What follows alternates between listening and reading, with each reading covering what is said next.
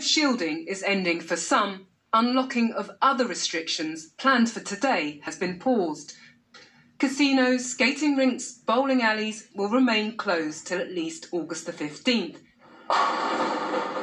Indoor performances remain banned, and wedding receptions will stay small affairs.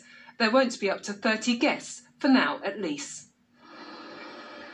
And more restrictions could follow, with one scientist suggesting that pubs may have to close to allow schools to reopen in September.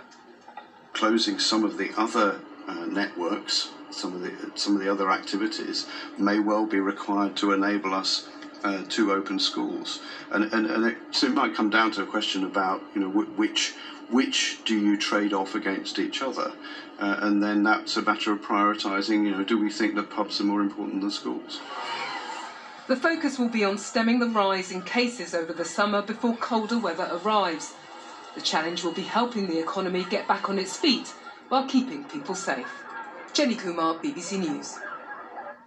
Well, companies across the UK must today start contributing to the coronavirus job retention scheme, which was, of course, introduced at the start of the pandemic.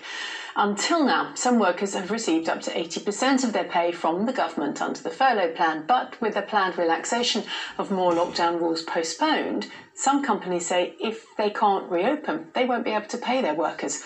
Our business correspondent Vivienne Nunis reports.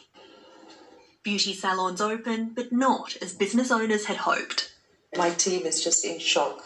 I have, I have, I, I don't even know what to tell them. Today, beauticians were